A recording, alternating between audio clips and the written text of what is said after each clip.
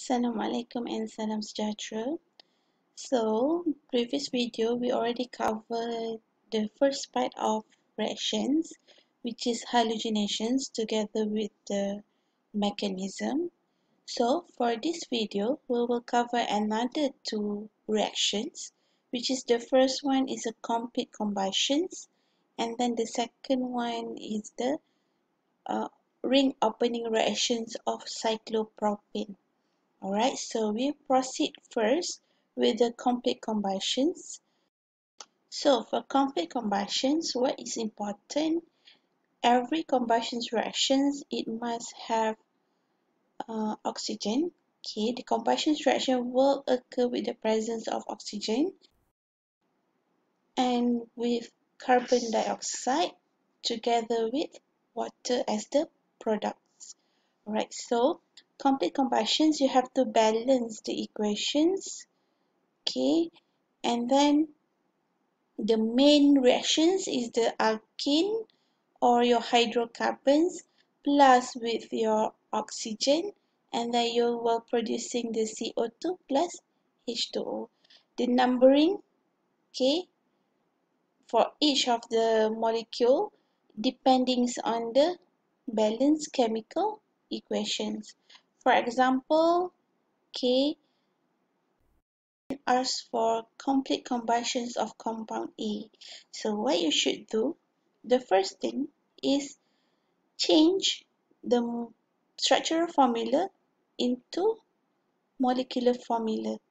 Okay, this is the structural formula because you can see the structure. Okay, molecular formula meaning that you can jadikan dia Y sorry CXHY berapa bilangan X berapa bilangan Y. Alright so dia tukar dia jadi bentuk macam ni. C dengan H tak tahu berapa bilangan so you kira 1, 2, 3, 4, 5 so 5 carbon so hydrogens adalah 12 kenapa ikut general formula CN H2N plus? 2 kenapa general formula ni? Because this is an alkene Okay, next is plus with O2. The basic uh, equation is that you will producing CO2 plus H2O. So next step is to balance the equation. So 5 uh, carbon, so meaning that kat sini kena 5 sebab carbon ni 5.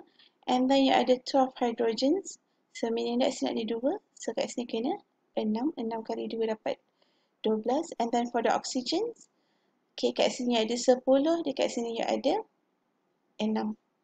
So, 16, so meaning that kat sini 8. Kenapa 8?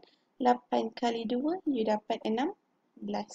So, this is the complete combustion equations for this compound. Okay, so, uh, we proceed with the second or the third reactions. Okay, overall is the third reactions. Second reaction for this video. Alright, so this one you can practice more. Okay, for the complete combustions. Okay, saya tak ni sangat sebab I rasa you boleh buat. Alright, for the ring opening reactions, we focus only on the cyclopropane. Kenapa? Because the cyclopropane is a small ring. Okay, ataupun cyclic structure close end structure yang kecil. Okay. So, kenapa kita akan fokus pada yang kecil? Sebab yang kecil macam ni, small ring structure ni, dia adalah sangat reaktif. So, that's why ring opening reactions can occur. Generally, alkane dan cycloalkane, dia react menggunakan cara yang sama. For example, kalau you ada cyclohexane, cyclohexane bukan small ring, dia adalah ring yang besar. Alright, so this one adalah reactions untuk halogenations. So, substitutions reactions, alright. So, this same thing will occur to the cyclohexane sebab dia cuma ada single bond. So, bila single bond, dia mesti substitutions reactions. So, bila substitution reactions untuk single bond, dia akan pergi ke free radical substitution reactions. So you akan dapat substitutions product. So same thing. Okay. Salin balik bentuk asal and before you decide you punya Cl ni you nak substitute pada which hydrogens, you can identify ataupun you kena classify the carbon first. Okay, so carbon di sini, okay saya letak A, attach dengan dua carbon yang lain. So dia adalah secondary So, followed by dengan carbon-carbon yang lain ni pun kalau you tengok semuanya adalah secondary. So, bila semuanya adalah secondary, so meaning that you akan dapat single products. So, because of all this carbon, okay, yang ada pada cyclic structure awak ni adalah secondary, so kita tak ada priority untuk formations of major or minor products. So, because of that, you can choose to substitute any hydrogens in this cyclic structure. So bermaksud you can substitute this uh, hydrogen with Cl atom or even kalau you nak buat macam ni pun boleh. Tak ada masalah. Still dapat benda yang sama. So let's say dah tak nak kat situ you nak letak dekat hujung ni okay ini adalah identical compound. So it doesn't matter. Alright? Ni nak letak kat mana-mana pun there is no major there is no minor products. Okay so this is uh, what happened to the um, bigger ring. Okay but for the cyclopropane which is a small ring structure okay so the reactions dia special sebab dia akan buat ring opening reactions bermaksud ring structure dia akan disrupted ataupun dia akan pecah. Okay, dia akan putus. So, bila putus, dia akan jadi, contoh eh, BR2.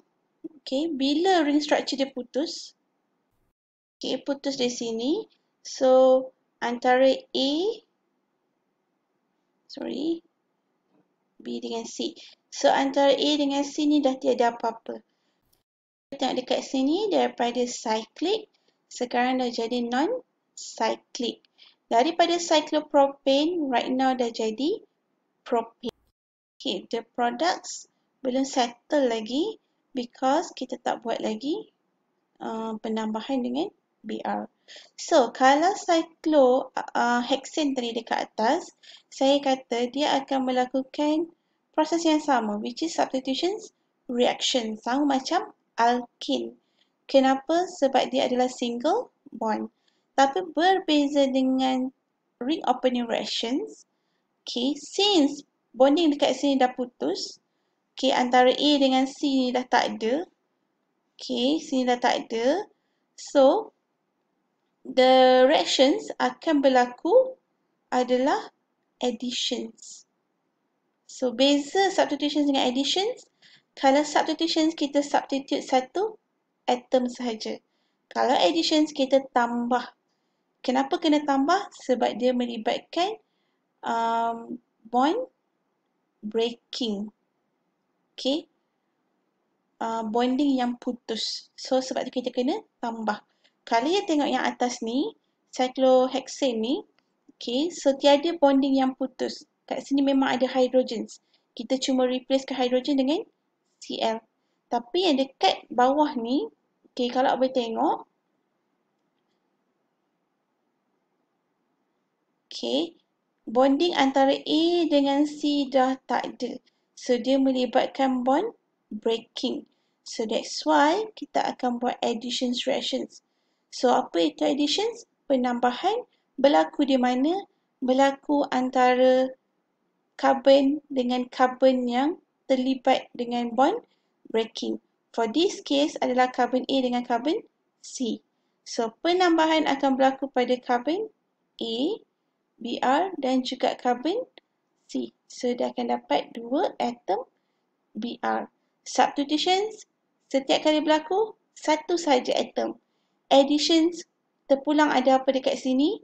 Okay, kalau sini ada Br, so Br tu perlu dipecahkan. Contohnya BR2, so dia perlu pecah. Satu dia letak dekat A, satu lagi dia letak dekat C.